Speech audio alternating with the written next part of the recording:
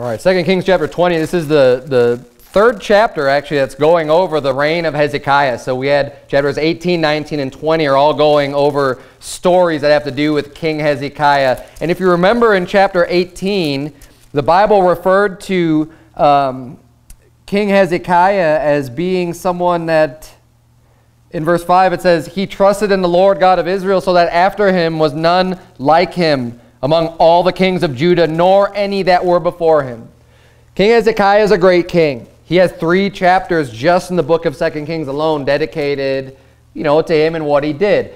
Great man of God, great hero of the faith, someone to be looked up to, but just like every hero of the Bible, he is not perfect.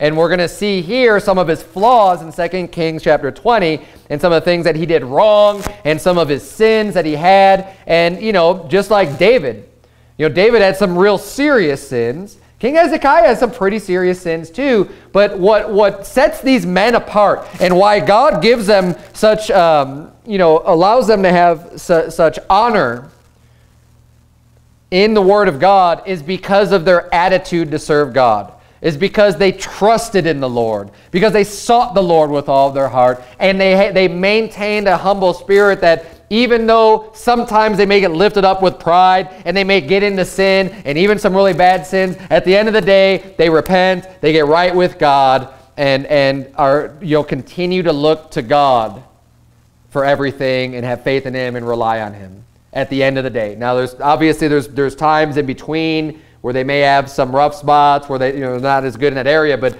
ultimately these are men that will always come back and humble themselves and get right with God. And this is you know, one of the great attitudes that, that Hezekiah has and that we ought to have and model ourselves after. And we need to remember that, you know, no matter what sins you may have done in your past, just if you have a, a proper contrite spirit and you're willing to just, just be sorrowful for your sin, move past that and, and continue to seek to serve the Lord without getting too high and mighty and proud, in yourself, that is the attitude that we need to have, and God can use you and continue to use you beyond that. Now, we're going to get into this chapter here. And one of the things that I just want to make sure that we remember and kind of glean from this chapter is that, you know, every man needs to take heed lest you fall. Hezekiah was, has, has already been, um, has many, had many victories, done many great things for God. And in this chapter, we're going to see where he gets lifted up with pride, and then God has to bring him low and God has to bring judgment because he got lifted up with pride. Now, we also see him repent, which is good, and we're going to get to that a little bit later, but we need to keep this always in the forefront of our mind that we don't get lifted up with pride, that we can take heed to ourselves, take heed to God's word, stay humble, and stay in the house of the Lord. Look at verse number one. The Bible says, In those days was Hezekiah sick unto death. And the prophet Isaiah the son of Amoz came to him and said unto him, Thus saith the Lord, Set thine house in order, for thou shalt die and not live. So Hezekiah is, is, is really sick, right?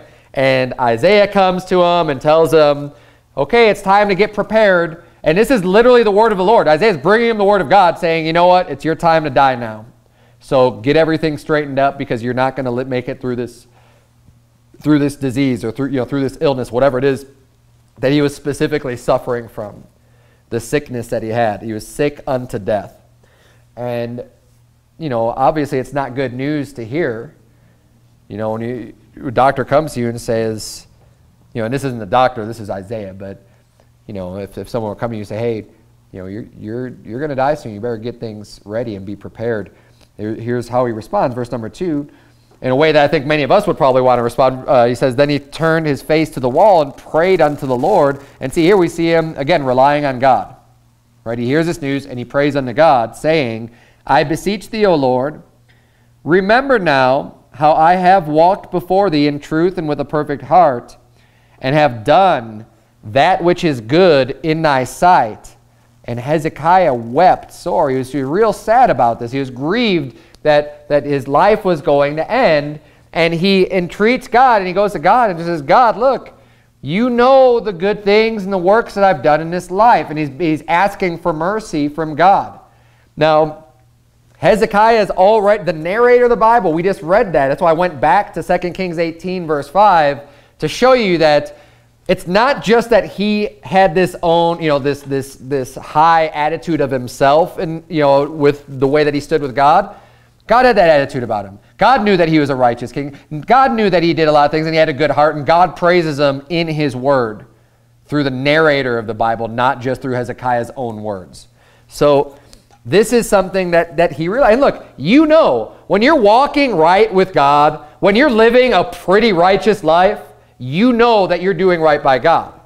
It's not something that, you know, you know other people might want to make it, oh, you're so proud and arrogant. No, I mean, if you're, we know we're not perfect. He wasn't claiming to be without sin. But he knew, he's like, hey, I'm following the Lord. I've got a heart to serve God. I'm doing as much as I can to serve him, right? And if you're doing the same thing, you should be able to say the same thing. And we want to be in the position that Hezekiah was in so that if something bad is going to happen, if we, if we have really bad news, we can entreat the Lord for mercy and say, hey, God, you know all the stuff that I've, did for, I've done for you. Can you, can you show me some mercy here and help me out? And that's what a prayer is. You're asking God for things. And we shouldn't be afraid or ashamed to go to God and to ask Him for stuff that we need in our life, especially when there's a major problem. I mean, you might get diagnosed one day with cancer or something that's going to be, you know what, this is a life-ending disease. This is a sickness unto death. But you can go to God, and, and that's the best position to be in. You know, go to God no matter what. But if you've been living a life that's been upstanding and, and righteous in His eyes, this is the position you want to be in to go and ask God for things. The same way that the best position for my kids to be in if they want to ask dad for something to help them with something, for some type of a blessing, is when they are living right under my rules, when they're not being disobedient, when they're listening to what I say, when they're doing the things I tell them to do. That is the best position to be in. And that was the position that Hezekiah is in. And look at what happens here. And it came to pass, verse number four, and it came to pass, before Isaiah was gone out into the middle court, that the word of the Lord came to him. So God answers him. Before Isaiah even gets a chance to leave, he said before he's even gone out into the middle court. He hasn't even made it that far, and God answers him. Hezekiah asks God, you know, just, just God, remember the good things I've done. Before Isaiah, he's turned around, he's not even left yet, and he's like, God answers him. Saying, verse 5, Turn again and tell Hezekiah, the captain of my people, Thus saith the Lord, the God of David thy father, I have heard thy prayer, I have seen thy tears. Behold, I will heal thee. God answers his prayers. He heals him. And look, Hezekiah doesn't, when he hears this, he doesn't go run to the doctor to say, you know, oh, I need to be healed of this. You know, I'm going to die from this. What's the first thing he goes? He goes, he goes to God. And that's what we ought to do too. Now, look, I'm not against physicians. I'm not against seeing a doctor. But the first place we always need to be going to is going to God, praying to God, and be in a position where God is going to be a lot more likely to receive your prayers and answer your prayers. He'll hear you if you're his child, but you need to be, you know, when we're doing good and doing what's right and pleasing in his sight, and we're listening to him already, he's much more inclined to listen to you and to hear your prayers and to heal you. In this case, he's healing him. And then I, I love this because he says, Behold, I will heal thee. On the third day thou shalt go up unto the house of the Lord. And I believe that's a foreshadowing of, you know, the resurrection of Jesus Christ coming up out of hell, being healed in a sense, if you will, because he's coming out of corruption, he's coming out of uh, out of the pit of hell, and and going up unto the house of the Lord, and you know, ascending up unto heaven. Um, that's just a, a, very small foreshadowing, but obviously, what what literally happened here is that you know God heals him, and then um, because of his uncleanness from the sickness is when he would need, you know, he's saying, okay, wait three days and then go up into the house of the Lord, which is I'm understanding to be, you know, his, his, purification and things like that to go into the house of the Lord. And um, verse number six, he says, And I will add unto thy days 15 years. So God gives him another 15 years to live. And he tells him, he's going to get a whole 15 years. And I will deliver thee and this city out of the hand of the king of Assyria. And I will defend this city for mine own sake and for my servant David's sake. And Isaiah said, Take a lump of figs and they took and laid it on the boil, and he recovered. So, of course, God keeps his promise. I mean, that, that goes without saying. Verse number 8 And Hezekiah said unto Isaiah, What shall be the sign that the Lord will heal me? Now, understand, you know, when, when the Bible's telling stories and giving us information, it gets to a natural stopping point, and then sometimes we'll go back and give us more information of what you know of what was being said or whatever during. So, what what this is saying is that you know God gave him 15 years, and the healing took place by Isaiah um, taking a lump of figs and putting it on the boil in order to recover. But see, now it kind of and it tells us that he did recover from that and everything happened the way God said. But then we jump back just really a little bit in time from that because it gives you the, the end result of what happened and then goes back to Isaiah, Hezekiah saying unto Isaiah from that conversation, right? Of um, what shall be the sign that the Lord will heal me because he's not healed yet. So obviously we're going backwards in time just a little bit to show uh, as part of this conversation. Or what really, the, verse 7 kind of gives you the end of it even though we're in the midst of this conversation between Hezekiah and Isaiah. What shall be the sign that the Lord will heal me, and that I shall go up unto the house of the Lord the third day? And Isaiah said, This sign shalt thou have of the Lord, that the Lord will do the thing that he hath spoken. Shall the shadow go forward 10 degrees or go back 10 degrees? Now, what, what I love about this, you're going to see something really cool here in just a second, but, um, and actually turn, if you would, to Isaiah chapter number 7. Isaiah 7. Keep your finger here. We're gonna, I'm still going to read a few more verses, but get your place ready in Isaiah 7. He's asking for a sign. He's saying, Well, what, how am I going to know for sure that God's going to heal me? And this doesn't offend God. At this point, he, he says, Isaiah says, okay, here's going to be your sign. It says, This sign shalt thou have of the Lord, that the Lord will do the thing that he has spoken. Shall the shadow go forward 10 degrees or go back 10 degrees? Now, when it's talking about a shadow going forward 10 degrees or back 10 degrees, it's talking about telling time.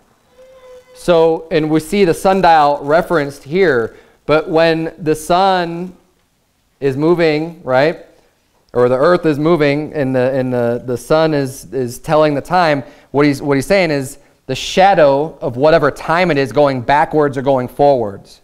That's what we're talking about. And so by 10 degrees, you know, I don't, I don't know how much 10, 10 degrees is um, in minutes.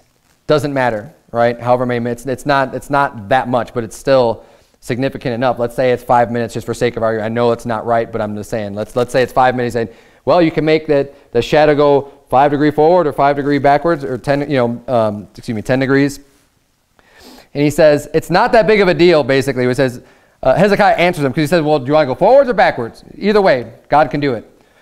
And Hezekiah answered, It is a light thing for the shadow to go down 10 degrees, nay, but let the shadow return backward 10 degrees. So what he's saying is that it's not that big of a deal. It's not that big of a miracle. It's not that big of a sign for the shadow to, to fast forward 10 degrees, right? For everything to continue the way it normally does, clockwise.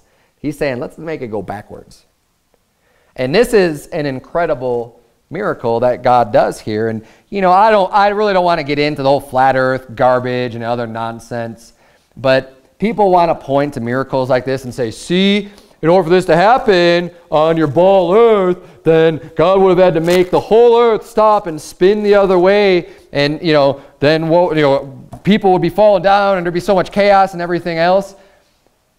they say the same thing about the miracles where God had this, you know, where Joshua said, you know, commanded the sun to stand still so he could finish the battle, and then it stood still, and then, and then it continued on again, you know, kind of stopping time. But what, what people don't realize is that this is a miracle. No matter what system you believe in, something's going to get screwed up because everything works together. All of the motion of the heavens and the earth all work, you know, in a synthesis together with one another that, that impact everything that happens in this life. So like the, those, whether the, the sun stands still or the sun dial goes back, you know, the shadow goes back 10 degrees, this is an incredible miracle. Now look, why would you assume that all God is capable of doing say, well, wouldn't people all be falling down and you have all this chaos and stuff?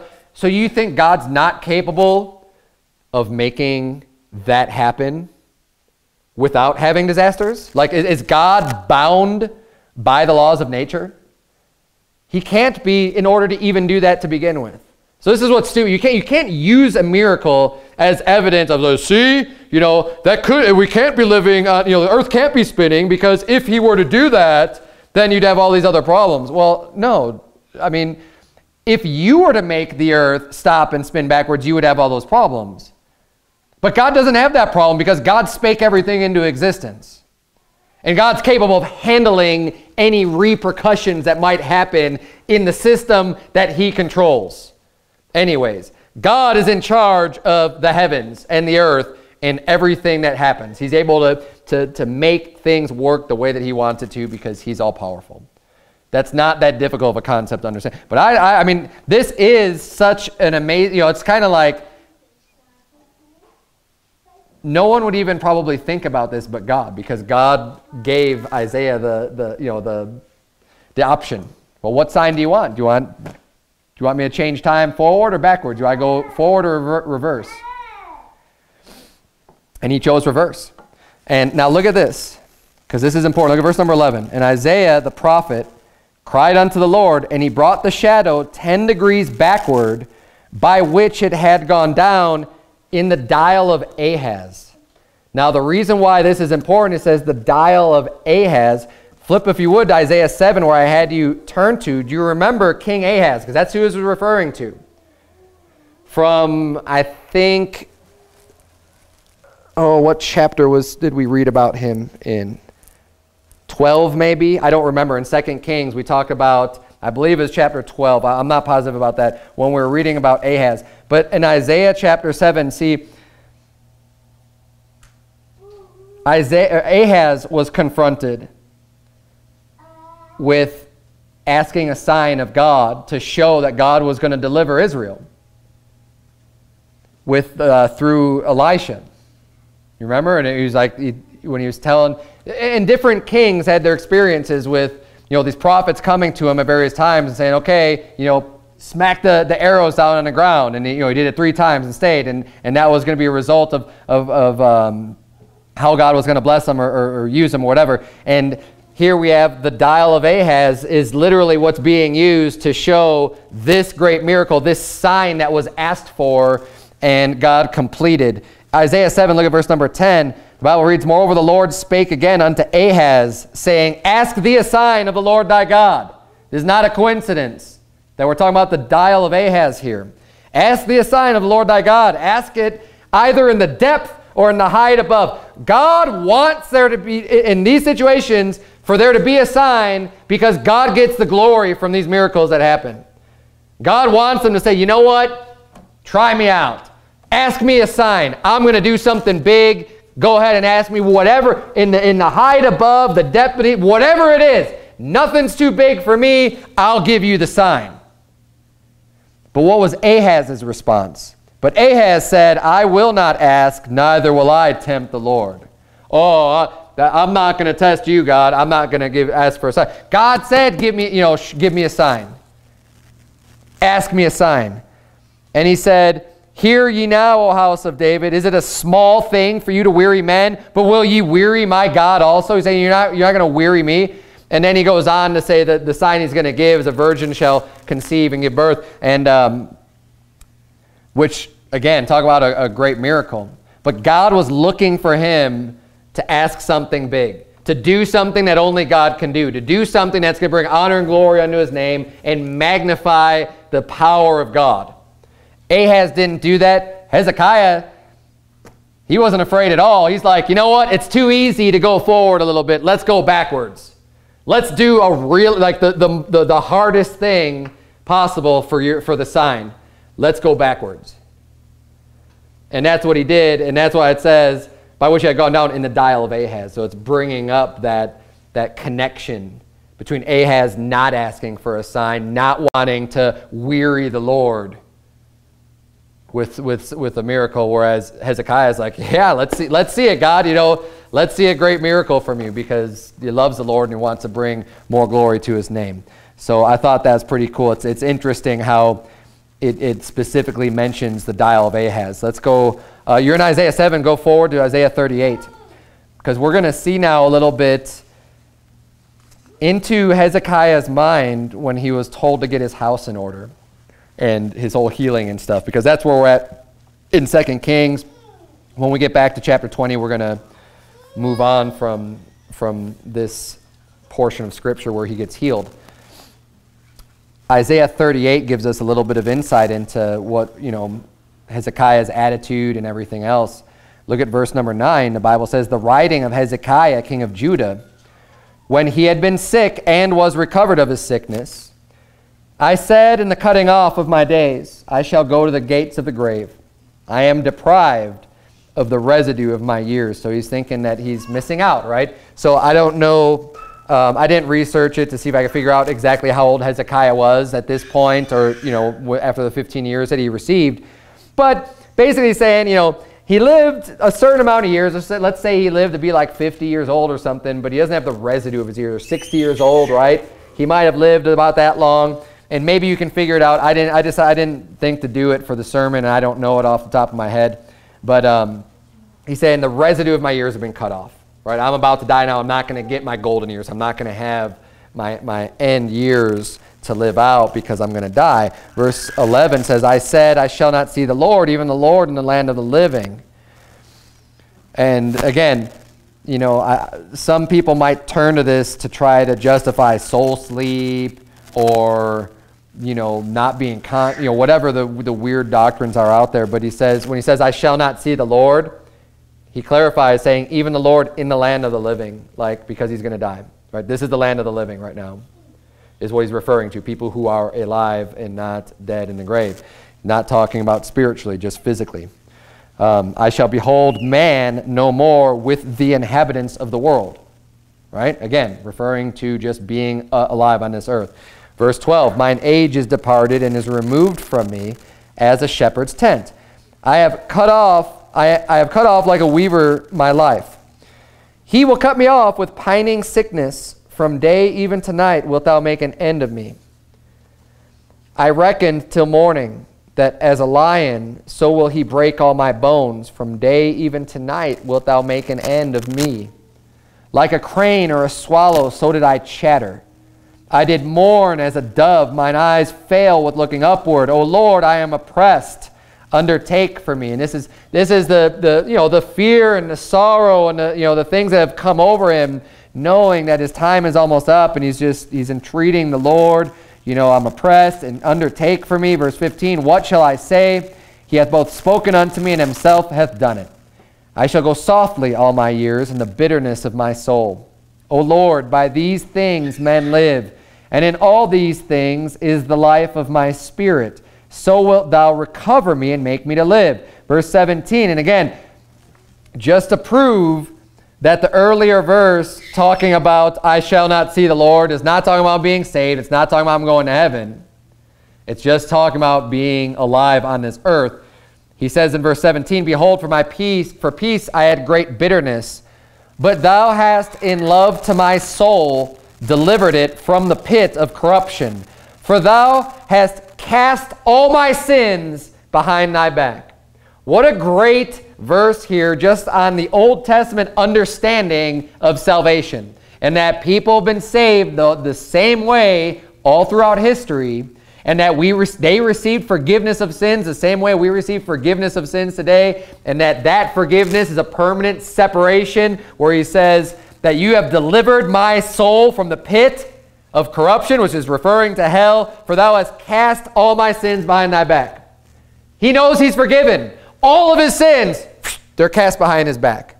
He knows that. It's done. And it's the same way for every believer today. This is a point we're trying to get across to that one lady. We were out soul winning today to explain that, look, once Jesus has paid for your sins, once you put your faith in the Lord Jesus Christ, God casts all of your sins behind his back. He separates you from your sin as far as the east is from the west. He remembers your sin no more. How could that be possible? If we could lose our salvation, those verses wouldn't even make sense. I'm not going to remember your sins anymore because you believe. Oh, wait, now I'm going to remember them again. But wait, you said you're not going to remember them anymore. God's not a liar. If he says he's either going to remember them no more or he will remember them. One or the other. You can't have it both ways. And once you get saved, he's, you, he remembers your sins no more. Thou hast cast all my sins behind thy back. What a great verse. Verse number 18. For the grave cannot praise thee, death cannot celebrate thee. They that go down into the pit cannot hope for thy truth. Again, showing that once a person goes to hell, there's no hope. They that go down into the pit cannot hope for thy truth. That's it. It's done. It's over. It's permanent. There is no purgatory. There is no, no Baptist purgatory of spending a thousand years in hell until the millennial reign of Christ is over. No, they that go down in the pit have no hope. Verse number 19, the living, the living, he shall praise thee as I do this day. The Father to the children shall make known thy truth. The Lord was ready to save me, therefore we will sing my songs to the stringed instruments all the days of our life in the house of the Lord. Praise God. You know, and this is something that goes to singing. Everybody ought to be singing in the house of the Lord. If you're saved, if God has saved your soul, that is reason to rejoice. And, you know, I know as much as anybody does. I used to be real shy. I used to go to church and not want to sing. And I would just read the words. And I never wanted to sing out even after I was saved and not, not sing. I felt uncomfortable. I didn't think I could sing very good. And I just didn't really like it that much. But you know what? The Bible says here, the Lord was ready to save me, and therefore, which means for this reason, because God was ready to save me, we will sing, not I, we, we will sing my songs to the stringed instruments all the days of our life in the house of the Lord. Everybody ought to be singing. Everybody ought to be praising the Lord with the hymns because you know why? It's not about you. It's not about the person next to you. It's about praising God. Are you happy about your salvation? Are you happy God saved your soul? Then we ought to express that through singing praise in the house of the Lord unto our God. And for those people who think, oh, I don't need to go to church, what about praising God in the house of the Lord? Read the book of Psalms, why don't you, and talk about praising the Lord. It's not just, you know, you could praise the Lord at your house. You could praise the Lord at someone else's house. But what about praising the Lord in the house of the Lord? You're missing out on that. You people watching sermons on the internet and not getting yourself in church. How are you going to sing praises in the midst of the congregation? Are you going to praise God? How are you going to do that? You have to. You could only do that by being in a congregation and being in a church. And God is worthy of that praise, and that's how God wants to be praised. I'm not saying don't praise Him at home. I'm not saying don't do it anywhere else. I'm just saying there are many places in the Bible where it specifically talks about praising God in the midst of the congregation and in the house of the Lord. Your house is not the house of the Lord. Unless that's where your whole congregation is gathering. Then it could be. But it's referring to the congregation. It's referring to where we gather together, being the house of the Lord and praising God that way. Um, go back, if you would, to 2 Kings chapter number 20. That's just a little bit of insight that we get from Isaiah 38 about Hezekiah, you know, and, and his extreme sorrow and grief, then, then the joy that he received when he found out that he was going to be healed and, and how happy he was from that. And, um, you know, of course, rejoicing and, and wanting to sing songs unto God. 2 Kings chapter 20, look at verse number 12. The Bible says at that time, now we're kind of shift gears a little bit in the story. He's, he's just been healed. And God promised, he says, you know what? I've healed you. You've got 15 years, and I'm going to defend Judah, and, and you know, the Syrians aren't going to aren't gonna get you. And, and he promised to defend them.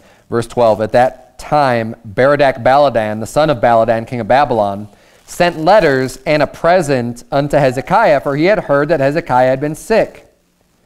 So up to this point, remember, we know what's going to happen. We know Babylon's going to come and take over, and they're going to be this, this great kingdom, and they're going to take the children of Judah captive. We know what's going to happen. But up to this point, their enemies have been the Assyrians, not Babylon. So they haven't had really dealings with Babylon at this point. The king of Babylon hears what happened to Hezekiah. He hears that he was sick unto death. He was real sick. And also at this point, what we have to remember is that Remember last week, God decimated the Assyrian army. It was like 185,000 men. Remember that that died overnight when they came against Judah? So this got Hezekiah famous in the world because, and, and then right after that, the king of Assyria died, right? His sons killed him. And, and that's a big event. Assyria was taking everybody over. They were conquering and conquering and conquering and defeating nation after nation after nation, but could not defeat Judah. Because God stepped in, God intervened and made sure that they would not kill him. And because they, they blasphemed the God of heaven. So God saved Judah. And as a result, now, the king of Babylon, he knows about this. He's heard about this. So now he's sending gifts, he's sending a present, whereas he probably wouldn't even care to have anything to do with them. But as a result of that, he's saying, oh, well, we're going to send Hezekiah a present. We heard he's been sick, you know, kind of buttering up to him a little bit, but also with some ulterior motives, as we'll see in a minute. Verse number 13, and Hezekiah hearkened unto them.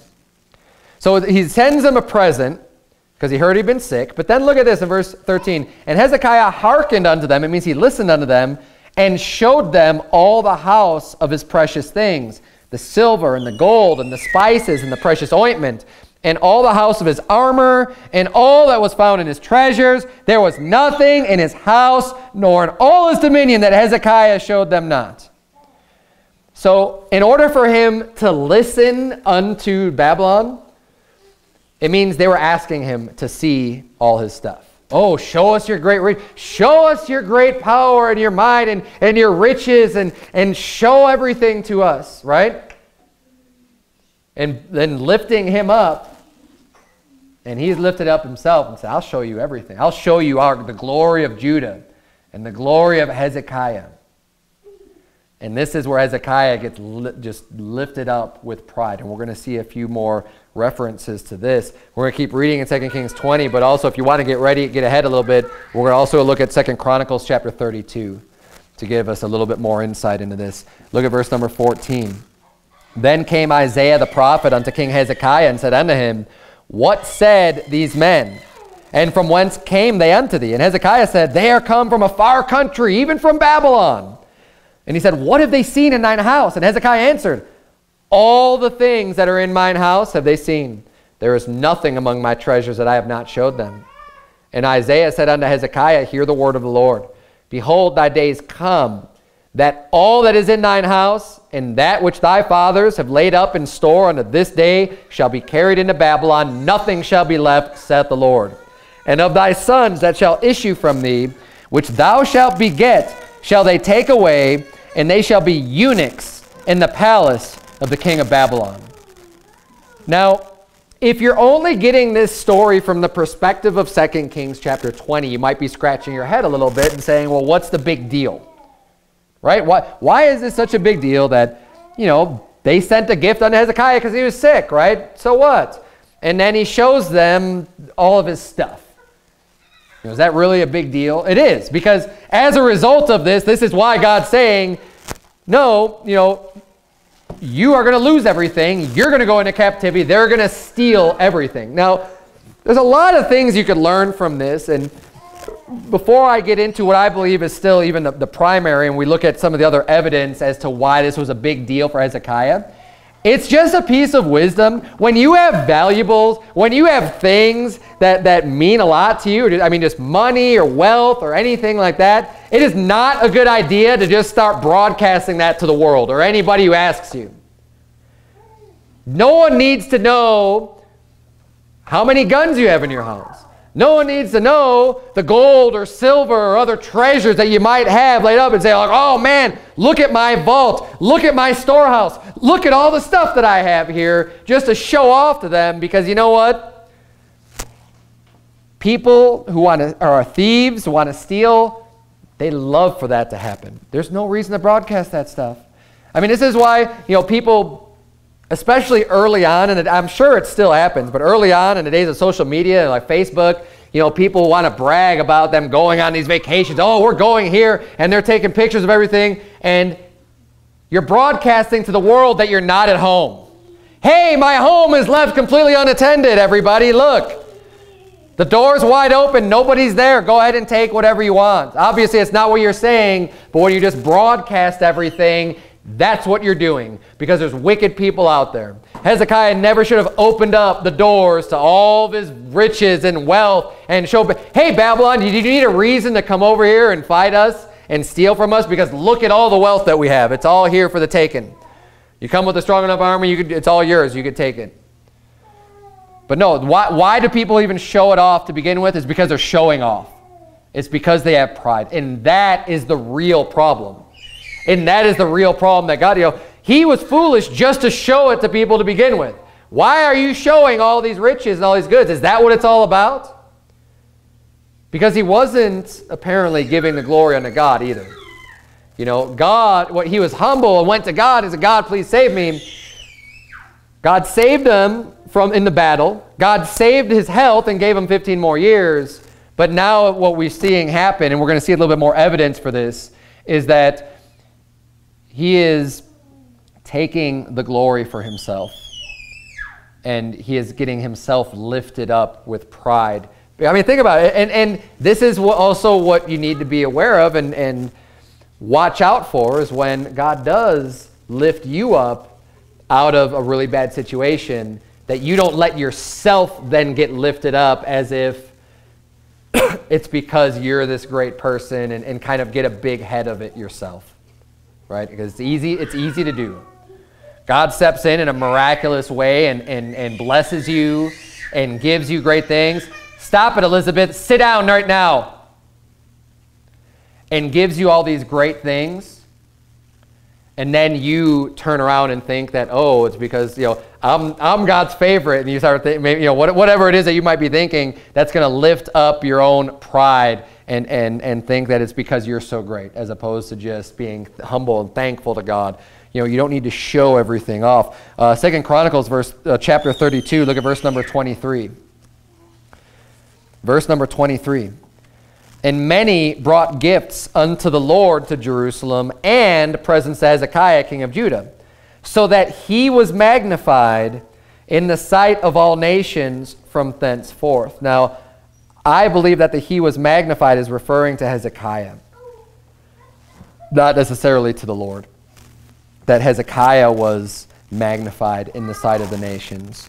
Now, God is the one, and, and you know, thank God some people brought gifts unto the Lord because they recognized that the Lord was winning the victory. And this is in reference to the great victory over the king of Assyria, is what the, in, in Second Chronicles. I know we didn't get too far in context, but in the context here of this verse, it's referring to them having the victory over the king of Assyria. So people are bringing gifts unto the Lord, but then they're also bringing gifts unto Hezekiah, right? And I'm not saying there's anything wrong with that, but as a result then of this victory, Hezekiah is magnified in the sight of the nations from thenceforth. Verse 24, which is why Babylon came to give gifts. Verse 24, in those days Hezekiah was sick to the death and prayed unto the Lord, and he spake unto him and gave him a sign. Verse 25, but Hezekiah rendered not again according to the benefit done unto him. So he didn't give back the glory to God. He didn't render to God. You know, God gave unto him, but then he didn't, you know, give God his due. He wasn't giving God the credit and the glory. And it says, for his heart was lifted up.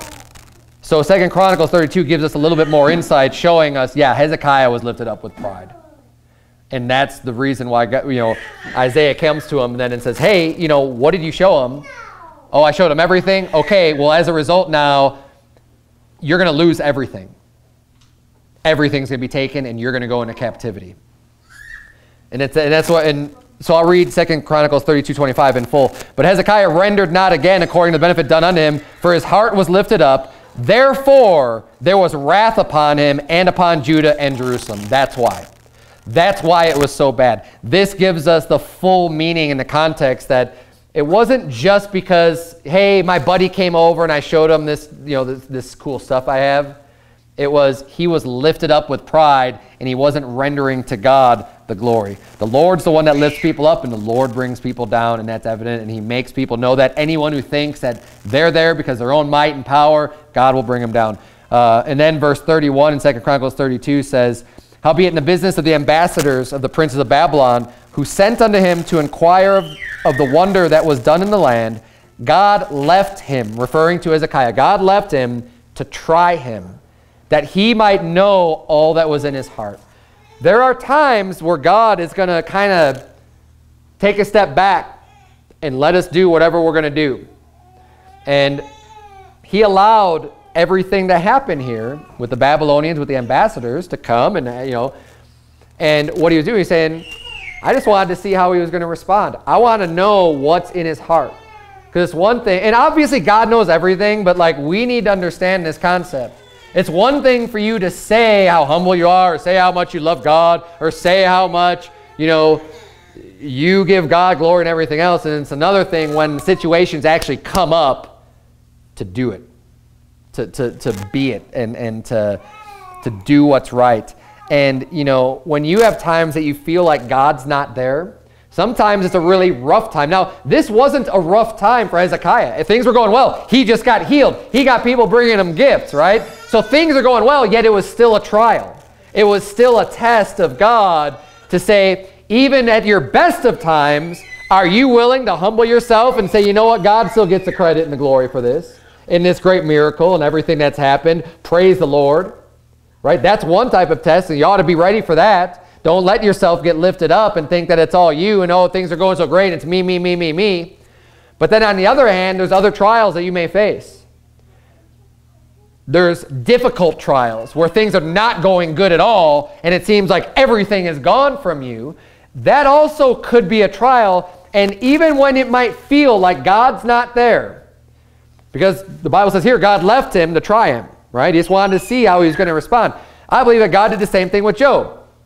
God left him temporarily for a while just to try him, just to see how is Job going to respond to this. When he loses everything, after I've blessed him so much, is he still going to retain his integrity? I mean, that's what Satan was falsely accusing him of, that he wouldn't, but he did. Job was tried through that difficult trial he, I, we know for a fact that he was kind of wondering where God was through all of it. You know, he wasn't blaming God, but he, all these bad things were happening. He didn't quite understand it, and, and he was definitely having a hard time with it. And I'm sure he felt like God left him and everybody else left him, even though he maintained his faith. But we need to understand and remember that he'll never utterly leave us or forsake us. Even if he doesn't seem to be there for temporarily for a time, the hardest thing to do, but we need to remember this, and we're, I'm preaching it now for this reason, is that maybe you're not going through anything difficult right now, but you might one day. And when you do, just remember that you might be being tried, and you need to try to pass that test and know that it's still only temporary. Make sure that your actions that when God tries you, your actions are going to show your faith. They're going to show your humility. They're going to show your integrity. They're going to show your dedication and your faith in the Lord. Hezekiah failed this test because he is lifted up with pride. And there is a result. There is a negative impact, a negative result because of his failing of that test because he didn't give God the credit, because he didn't uh, do what was right ultimately. Now, that doesn't make Hezekiah a bad guy. He's still known as a, as a great man of God, as a great king, you know, and, and someone who's good, but he has a failing here. And he does repent. We're going to see that in, in just a minute. But um, the, the, the trials are, are key points in our life the most important times, when things get rough, especially, to make sure that you can stick with it and not fail the test. Stay with it because it's only going to be temporary. And when, if you could come through those trials and make it through, like Job did, you will be blessed and you're going to come through, you know, like gold, like silver, where it really tries you, but it also will end up strengthening, strengthening you in the end and purging some of the dross and the other things that have been part of your life up to that point. And you go through something really difficult, and if you can see it through to the end, you're going to come through way better and way stronger than when you went in to begin with. And we need to remember that and keep the faith of knowing the end result and not quitting and not failing. You know what? We're going through a trial in our church right now. But I'm not going to give up. I'm not going to quit. We're being tried. I think we're being tried. I think God, you know, if nothing else, maybe God's testing me. I don't know. Maybe certain things are being allowed to happen to test me. You know what? My resolve is I'm going to do what God has for me to do. And that's all I can do. But I'm not going to doubt. I'm not going to say, oh, I wonder, I wonder if this was really a good idea to start a church. Or present. Oh, I wonder what, you know, doesn't matter. It's not my responsibility to build a church. It's God. I'm going to do what's right. No, whether we grow, whether we shrink, no matter what happens, no matter who shows up. I'm going to do what I believe God has for me to do. And I don't think there's anything against God's will for, for pastoring a church and soul winning and doing everything that we're doing here. And I'm going to do it. And I'm and, and know this that that if this is a trial, I'm going to make sure that that that I come through good. And hopefully you can do the same thing. And, and we all face our own personal trials, but remember to, to stay strong and maintain that faith and come through to the end. Verse number 33 in 2 Chronicles 32 says, And Hezekiah slept with his fathers, and they buried him in the chiefest of the sepulchres of the sons of David. And all Judah and the inhabitants of Jerusalem did him honor at his death, and Manasseh his son reigned in his stead. Hezekiah was a man of great honor even among the people. He had respect with God and with man. He did a lot of great things. Unfortunately, though, it appears that, that I think he cared a little bit more about that, about his honor and about his reputation, and about doing all of these great things than he did about his own son. Let's keep reading back in 2 Kings chapter 20. We'll finish up this chapter. Verse number 19, the Bible says, Then said Hezekiah unto Isaiah, and look at this attitude that he has, because remember, he was just told that they were going to be taken captive. All the, the, the everything that he showed unto the Babylonians, he's going to lose. You know, all this bad stuff is going to happen.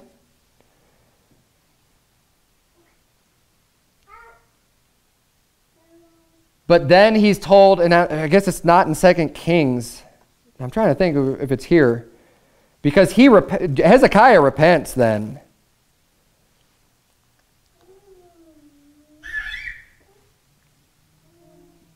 Yeah, because in verse 19, it says, Then said Hezekiah unto Isaiah, Good is the word of the Lord which thou hast spoken. And he said, Is it not good if peace and truth be in my days?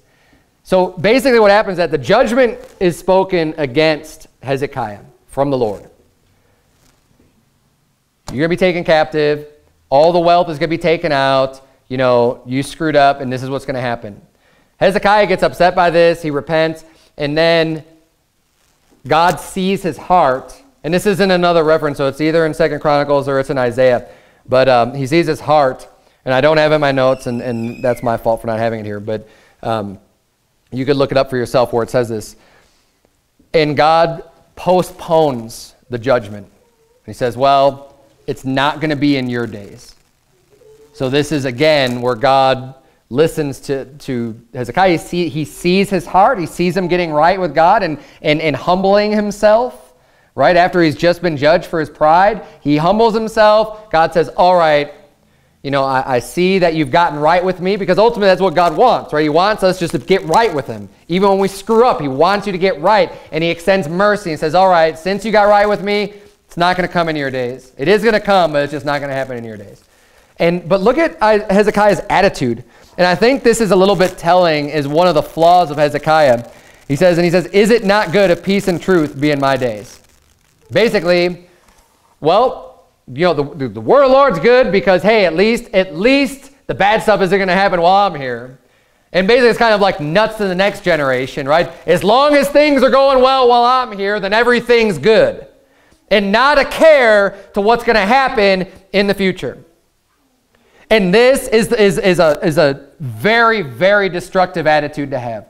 Now, we see that he was very honorable. We see he did all his works. Look at verse number 20. It says, In the rest of the acts of Hezekiah and all his might, and how he made a pool and a conduit and brought water into the city. Are they not written in the book of the Chronicles of the kings of Judah? And Hezekiah slept with his fathers, and Manasseh his son reigned his stead. He did a lot of great things. He did a lot of works. He was busy getting his pool going. He was busy getting the infrastructure set up in Jerusalem. He was busy fighting these battles. He was busy doing everything else. But you know what he wasn't busy doing? Raising his son.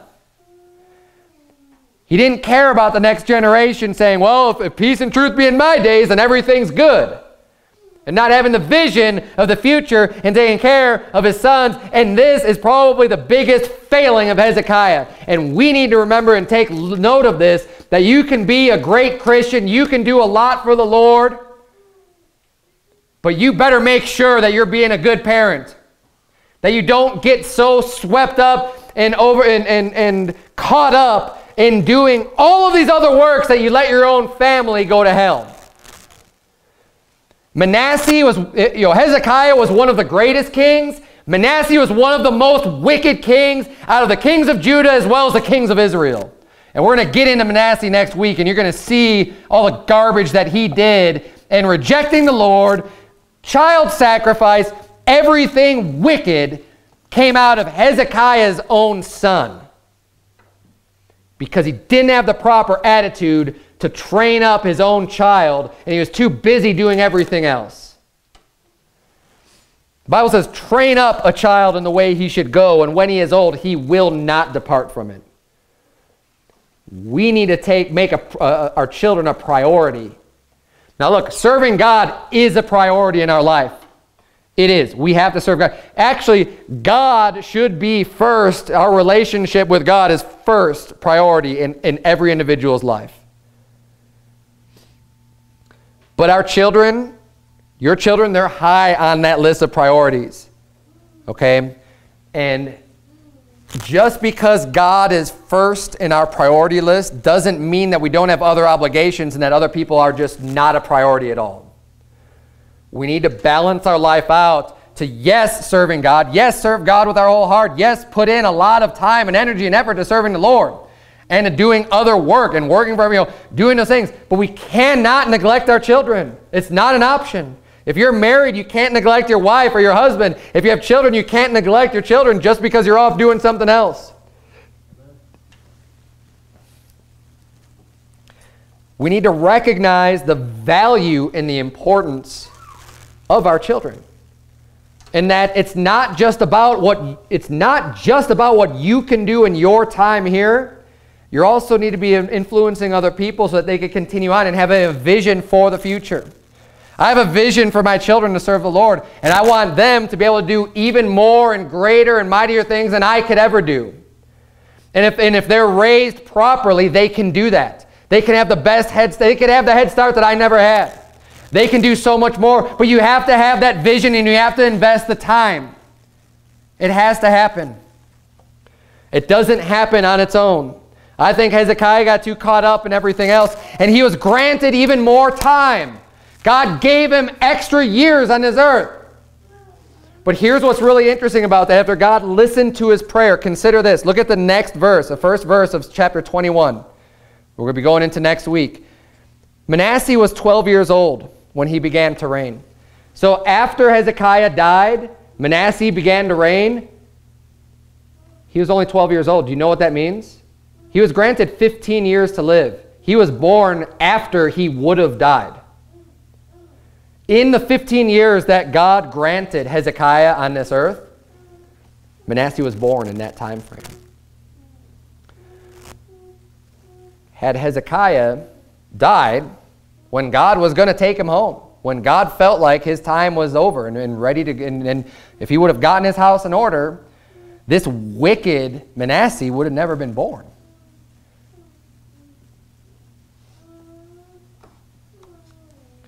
But think about this then, too.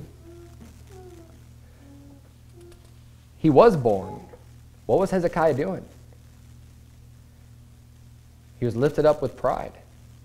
He was not right with God. God gave him a gift of extra years in his life. And what did he do with that? God blessed him with a child three years after that. But how did he raise him? Not at all. He didn't raise him at all. Because if he would have trained up his child in the way he should go, I believe the Bible when it says, when he's older, you shall not depart from it. He did not train up his child in the way he should go. And we'll see next week all about Manasseh and all the wickedness that he does because he starts doing it right away. He's 12 years old. Think about a 12 year old child. How wicked do they have to be already at 12 to start doing the things that Manasseh got into? That shows Hezekiah was not doing his job. We need to do the best, um, you know, give God the credit for the great successes in our life keep ourselves humble, and don't waste the gifts that God gives us. I mean, it's kind of like Hezekiah just threw it all away. He was given 15 years. 15 years he was healed and ends up bringing this judgment upon, upon himself and all Jerusalem. And Manasseh, this, this wicked son, is born, and, and he basically just wasted everything that God had done for him. He lived a great life, did a lot of great things for the Lord, but then he finished miserably. I mean, God even listened to him to spare him from death and gave him 15 years, and he wasted it. He wasted it. We don't see any other victories. We only see failures in that last 15 years that he had. You would think, or I would think, that those would be the best years because you've been given like a, a second chance. And you know what? When you get saved, when you, when you got saved, you were given a second chance. What are we doing with that life that God has given to us? We're just blowing it and wasting it and, and not doing what we're supposed to be doing and just, just getting all caught up in ourselves and wrapped up in ourselves and all our own personal things and personal life and, and my own entertainment. And I'm going to go off and just live in the world and do everything else in the world and not do anything for God and just waste the gift that God has given me? Or am I going to use it and be thankful and be gracious. God, you gave me 15 years. God, you gave me eternal life. How much better is eternal life than 15 years? So, God, I'm not going to waste what you've given me. You, you paid the ultimate price. I won't waste it. Let's say tonight, I'm not going to waste that gift. When I'm tried, when it feels like God's not there, I'm going to stay through because I got that gift. Because I'm not going to waste it. I'm not going to turn my back on God. I'm not going to going to be foolish. I'm not going to get off into this world. I'm not going to backslide. I'm not going to get out of church. I'm not going to get out of anything. I'm going to stay right where I'm at because God is worth it and His love for me is worth it. And the gift that He's given us, I'm not going to waste it. Let's bow our heads and have a word of prayer. Dear Lord, we thank you so much for your great words here and for the great truths that are so timeless, Lord, that it doesn't matter when this book was written or penned down on, on any type of paper, dear Lord that uh, it's timeless and that we can, can gain very valuable lessons from your words. God, I pray that you please open up our understanding, Lord. Help us to be strengthened, to be edified into serving you and to, and to doing what you have for us to do, dear Lord. I pray that you would please bless our church. I pray that you would bless our members, Lord. Help us to get through the trials in our own personal lives and, and um, collectively as a church, Lord. Help us to just keep pushing through.